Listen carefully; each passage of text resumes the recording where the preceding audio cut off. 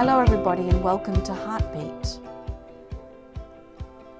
This concept of what I'm going to talk about came to me from um, after listening to a Christian song.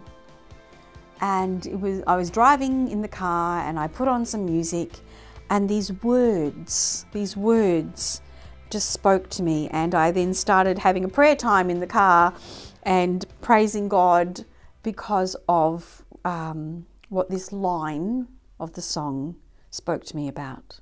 And the line said this Perfection chose to bleed for me. Perfection, God, the Son of God, chose to be broken for me. Perfection chose to die for an imperfect creation, people, person. Because God would have died for one person, even just one. This perfect God, out of love for us, died for us, sent his Son to die for us. And this should bring us a response of great joy.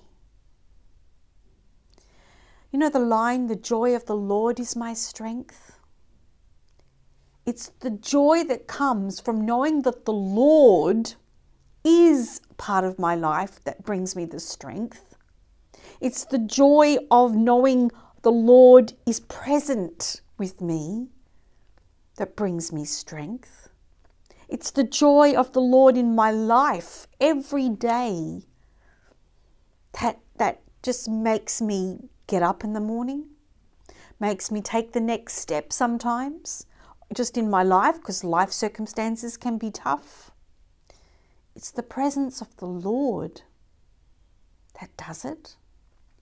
This deep set joy, this joy that comes even if you know, the world around us is falling apart because God isn't. He's complete, He's whole. He brings us the fullness of life. In Psalm 16, verse 11, it states this You show me the path of life. In your presence, there is fullness of joy. In your presence, there is fullness of joy. If you want to be joy filled, go be in His presence. Know that He is, you're in His presence every day, of every second, of every moment, if you just reflect upon it, if you just invite Him into your life. He'll come. Then also in Psalm 21, verse 6, it states this You bestow on him blessings forever. You make him glad with the joy of your presence, him being us. You make me glad with the joy of your presence. It's so joy filled to have you present, Lord, with me. Wow. I don't have the words. I just have this feeling, this emotion, this joyness, joyness, even if it's such a word, I've made it up. Joyness within me. Psalm 71, verse 23, states this My lips will shout their joy when I sing praises to you, my soul also, which you have rescued, because you rescued me. My lips will shout for joy. Maybe though you were born into a Christian family. So, did you really rescue me? I would I was already in your family. No, we're in God's family because of Him rescuing us centuries ago. And it's been passed on from generation to generation. We should be joy filled for the generations that have passed it on. Joy filled more, though, because of what God has done for us. He has rescued us, He has given us life to the full, eternal life forever with Him. And then there's a beautiful story, and I think we miss it. We miss it so much. Where a little baby, an unborn baby, knew the joy of the Lord when the Lord was present. And it's in the Gospel of Luke, starting at chapter 1, verse 38. The angel of Gabriel has come to Mary and told her, You've been chosen to be the mother of the Lord. And She questions him a little bit, How can I? I'm not haven't been with a man, what you know? And um, the angel says, you know, nothing's impossible to God.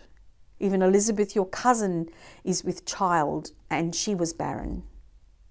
And Mary says, Here am I, the servant of the Lord. Let it be with me according to your word.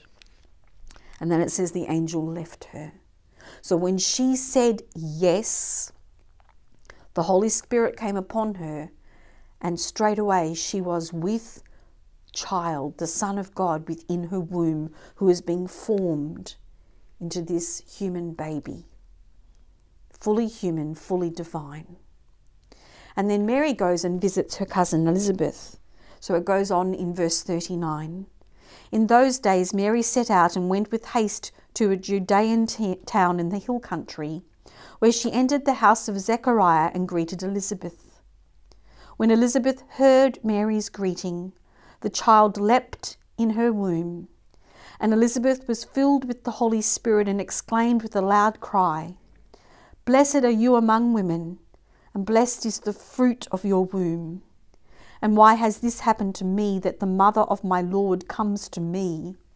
For as soon as I heard the sound of your greeting, the child in my womb leapt for joy.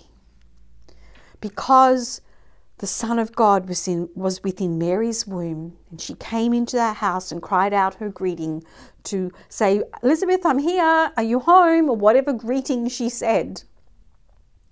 The unborn child, which is John the Baptist, leapt in Elizabeth's womb because he recognized that we were now in the presence of God. Wow. Jesus often tells us, be like a little, go back and be like a little child. Be that innocent child. Because children sense and know and understand more the Spirit of God, the presence of God. They haven't got the world in them yet. You know, they're, they're not, they're more innocent, they're not as affected. Take your children to God put them in His presence. And they will leap for joy because they will just know. But we need to be like this. We need to leap for joy when we're in His presence, just like John the Baptist did. Because the Holy Spirit reveals it to us, reveals God more to us. And we will just naturally leap for joy because of God's presence in our lives and we acknowledge his presence because that's what Elizabeth did. My baby leapt for joy, not because it was turning around in the womb as babies do, didn't have hiccups, wasn't kicking its legs. It leapt for joy because of the presence of God within Mary's womb. Jesus, the fruit of your womb. How precious is that? So let us remember the joy of being in His presence. That when we go to Mass and we go to the Eucharist and we receive Jesus or we sit in front of the Blessed Sacrament, or we're having a prayer time and we're in the presence of God. We're before Him every day. We, he dwells within us. Emmanuel, God is with us. That we have this deep set joy that will bring our life to the full, will give us the best life ever. A concept hard to understand, but your spirit just knows. Something not just to think about, but to meditate on, upon, and for your spirit to talk to God's Spirit about. Have a blessed week and we'll see you again next week.